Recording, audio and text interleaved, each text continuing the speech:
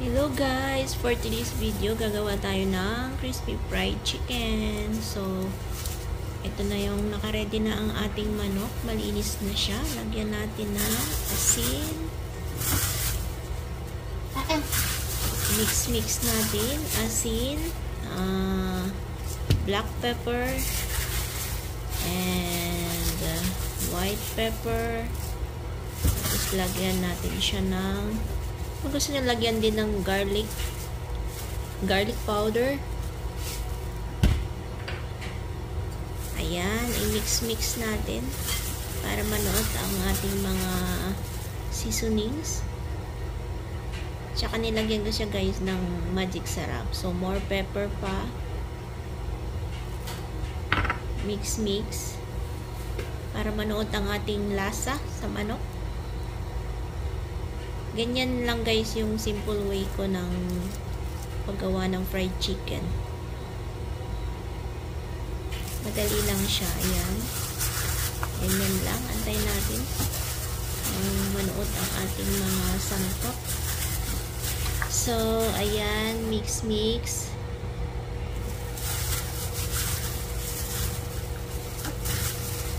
Ating crispy fried chicken. Ayan. So, parang matagal lang siyang ano.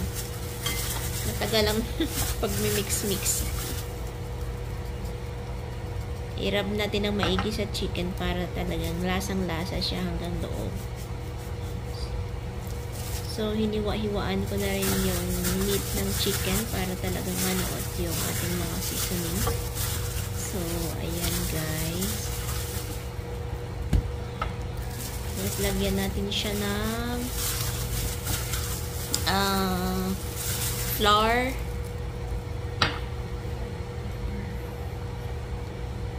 Parang ang dami ko na yatang nilagay na asin. So, ayan guys. Sige, himas pa more. Irab natin na maigi sa chicken. Himas, himas.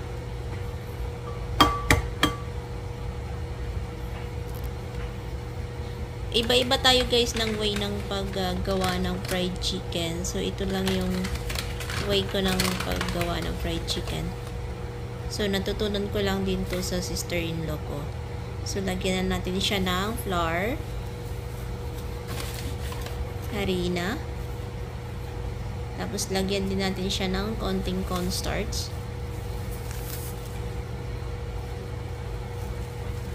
Ayan, tansyahin lang natin guys, wala namang measurement. Yung tama lang siyang mag-coat sa meat ng chicken.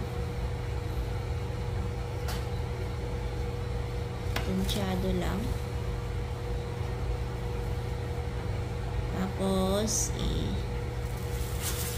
ayan, i-mix na natin sa ating manok ang ating flour at saka cornstarch.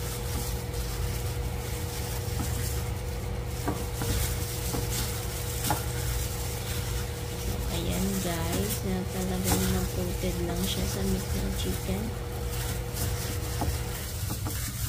Tapos guys, ano, uh, lagyan natin ng itlog. So, bago ko lang po siya natutunan sa sister-in-law ko, nilagyan niya ng itlog. Isang peraso lang guys, okay na. Pero pag masyadong madaming manok, pwedeng dalawa. So, nilagay ko dalawang itlog. Ayan, i-mix natin ulit. Ayan, mix lang natin hanggang sa ma manuot ang ating mga sangkap sa ating manok. Tapos, i-marinate lang natin siya ng uh, half hour lang. Hayaan na natin siya dyan. Half hour bago natin i-prito. So, ayun guys.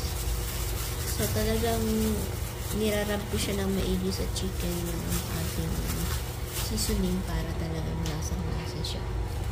Tapos, sit aside na, natin ng ano, half hour, pwede na. Or, mas matagal, mas okay.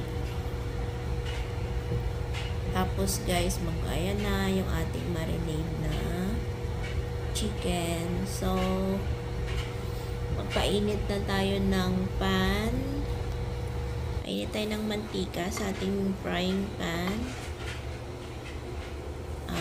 Ipirito na natin siya ng mahinang uh, mahinang apoy lang guys. Para talagang maluto hanggang loob yung chicken. Kasi pag malakas yung apoy, hindi, hindi luto yung loob. Luto yung labas, para yung loob hindi.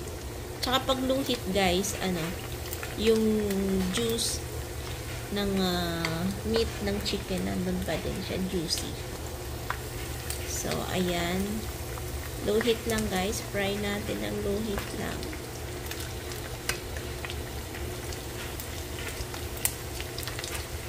So ayan. So tingnan natin mamaya ang ating manok. Pag naluto na. Ayan guys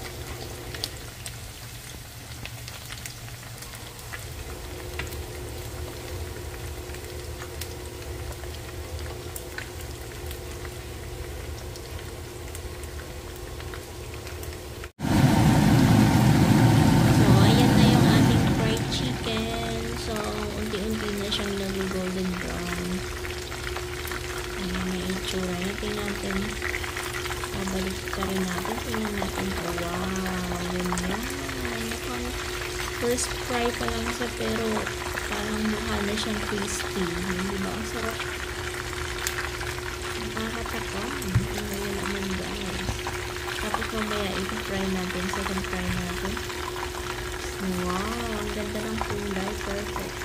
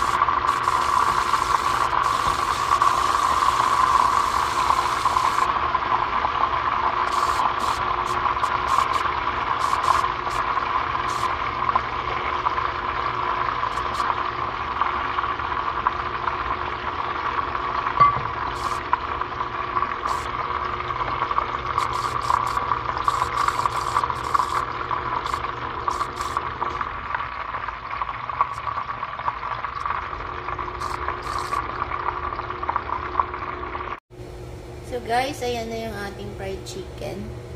Ayan.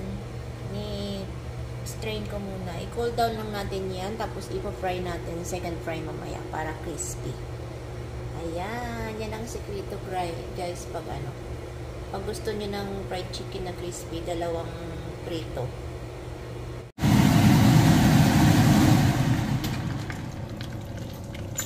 Ayan. So, ayan na guys. Yung ating chicken. Ayan. Second fry na natin.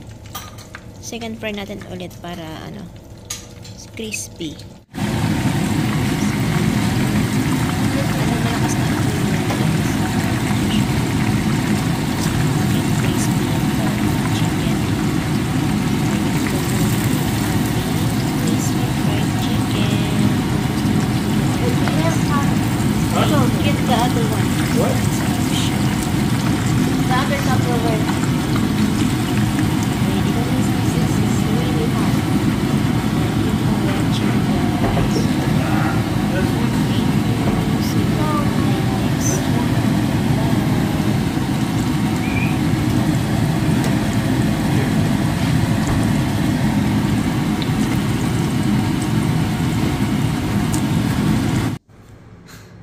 Guys, ito na yung luto nating fried chicken. Yan na yung itsura niya.